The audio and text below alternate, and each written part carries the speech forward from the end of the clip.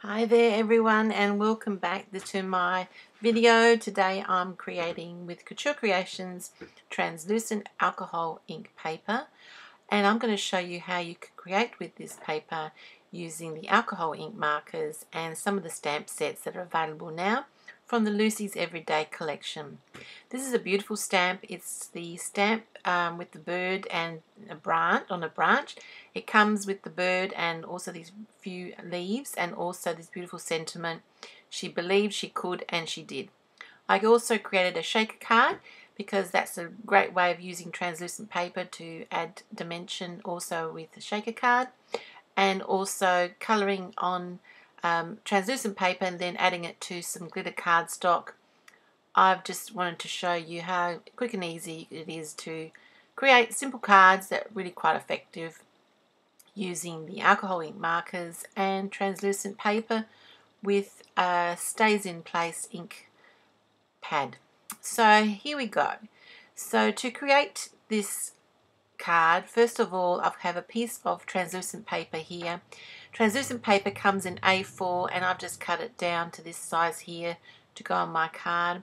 This is a stamp set and this is the ink that I'm going to use. This is the alcohol ink, Stayz in Place, jet black and I'm using the precision stamp set or stamp press to stamp onto my translucent paper using this stamp and also the Stayz in Place jet black ink pad quick and easy and I really love this press because if you have if you haven't inked it properly you just have to re-ink it and press it down again.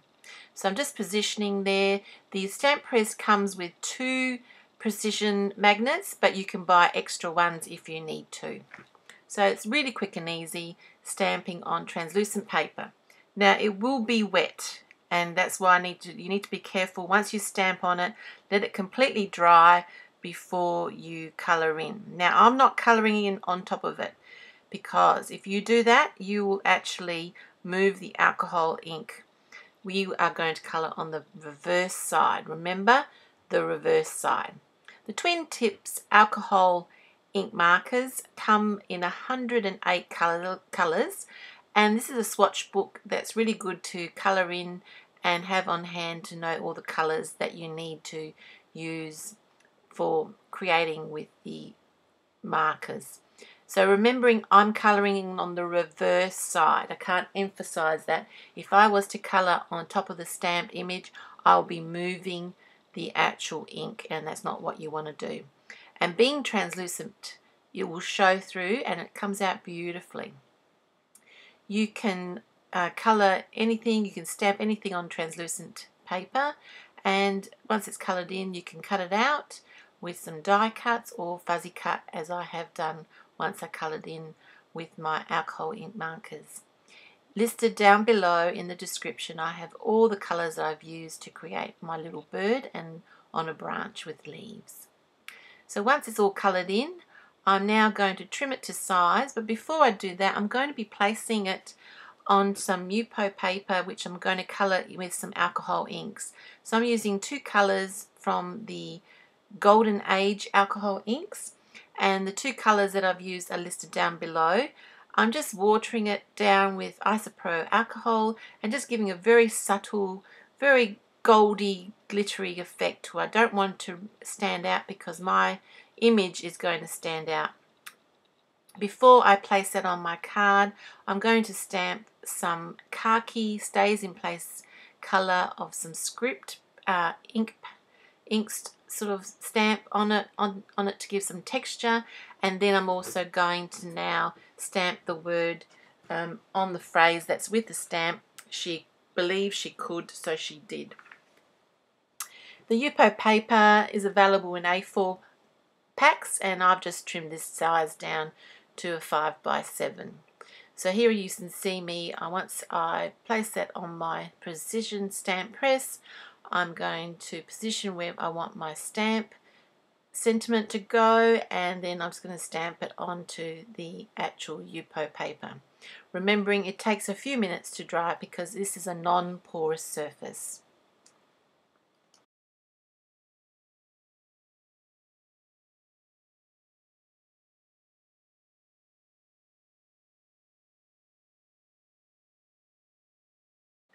So you can see I fuzzy cut my bird on my branch and it fits beautifully on my card. I matted it on some purple cardstock and I also um, coloured in some more extra leaves. The stamp set has a, a, small leaf and an extra leaf and I stamped some more of translucent paper, coloured it in with alcohol ink markers and added some flowers as well down the bottle, bottom. I glued the transparent paper with quick dry adhesive glue. It's the best glue. It dries clear and you don't see any glue marks underneath when it's dry. So just a very quick, easy card creating with translucent paper and the wonderful finish you get from the alcohol golden age inks. They look really pretty and you get a really nice stunning effect on your cards. Really quick and easy. So the other card I created was the uh, shaker card and that also looks quite effective with the transparent bird on the on the front um, the other card, so this is a card, the shaker card, and added the word hugs from the Homely Florals collection. Again here I did another transparent, this is from the Homely Florals stamp set. I have the list of the code down below in my video and added the word hugs. So thank you for joining me here today. I hope I've inspired you to create and colour with the translucent alcohol ink paper, the twin tipped alcohol inks and alcohol inks from Couture Creations. As I said before, I have a list of all the products I've used in the link down below in the description. Please give a big like if you like this video and please comment below if you have any questions.